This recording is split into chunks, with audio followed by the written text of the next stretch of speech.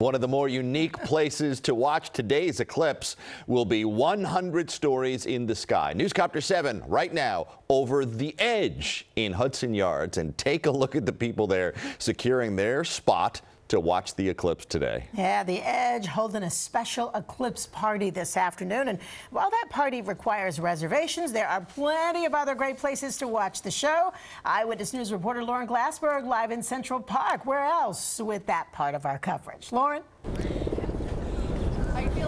Sandra and Joe, I have to say I'm very happy to be on terra firma watching the heavens. Here we are on the Great Lawn, really the heart of Central Park. And this is an ideal spot to watch the eclipse because it's just wide open here with a beautiful backdrop. But those high rises aren't blocking any view. So lots of people will be opting for this location. And we did speak to a few who are already planning out their afternoon viewing party.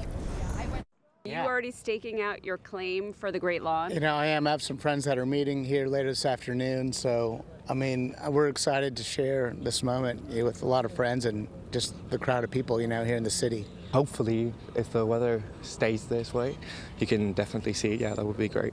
So you just came to check out the uh, exactly, Great Lawn, like, see exactly, if it's viable? Exactly, yeah.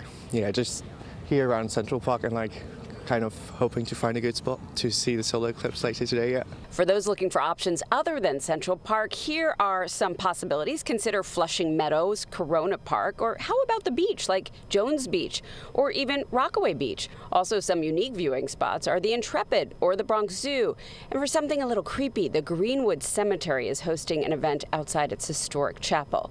But for some folks, Central Park is the place to be. I think it's a great vantage point. What's better than seeing all the New York City buildings and getting to see the eclipse? Hopefully, it'll be clear out for everybody. So, yeah, it's a beautiful spot. Come on down. Come on down. It is really beautiful here. The Great Lawn was just replanted after some significant damage was done over the fall, and it just reopened this weekend. So it's very inviting for a picnic and some eclipse watching.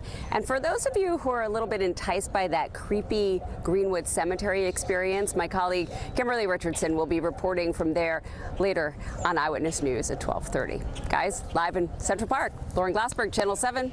Eyewitness News, back to you. We got all the Oh, yeah. spots covered. Thank you very much. Enjoy the show, Lauren.